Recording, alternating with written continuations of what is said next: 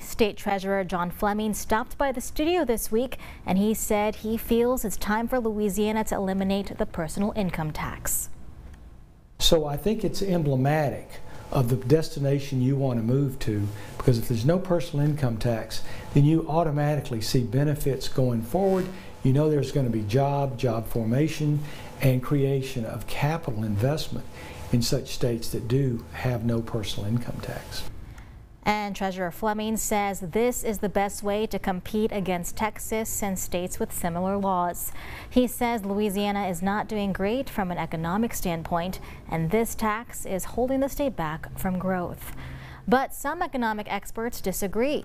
We spoke to a professor at LSU Shreveport, and he says the problem with the state treasurer's plan are the long-term repercussions in, inevitably you are going to have cuts to education, corrections, and also to public employees in Louisiana. There will be, there would be initially the illusion of wellness in the very, very short term. Uh, you will have residents with more money in their pocket, simply said.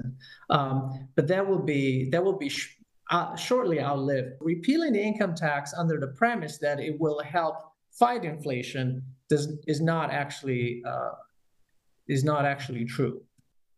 And when asked who would be the biggest beneficiary of these cuts, he said out of state businesses. Louisiana will head into its fiscal session next year.